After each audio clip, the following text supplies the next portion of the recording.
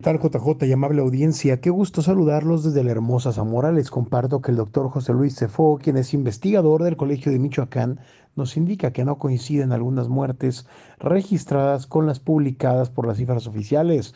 Además de que, bueno, también hay un aumento al doble de las personas que han fallecido en Zamora y en la región eh, del 2016 a la fecha.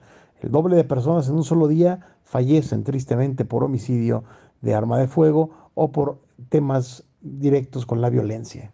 ¿Qué ocurre de 2016 a 2020? Bueno, como decíamos, este, se registraron 1.734 homicidios. O sea, 1.734 homicidios. En un lapso de 5 años, en un lapso de, 180, de 1.825 días. Lo que da punto 95. El punto 95 es como uno diario. Eso es muy importante. Que también es importante que el año 2016 cerró con 218 homicidios. 2016. 2017, 186. Un bajoncito interesante, ¿verdad? Como del 15%.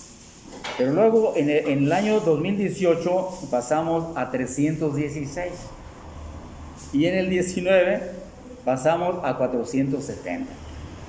Y finalmente, como decía, el año que acaba de pasar, tuvimos 544 homicidios, ¿verdad? Entonces, eh, en el arranque de, de, de, este, de ese lapso 2016, que tenemos 218, y, al finalizar en el 2020 tenemos 540, pues notamos que esto se duplicó, o sea,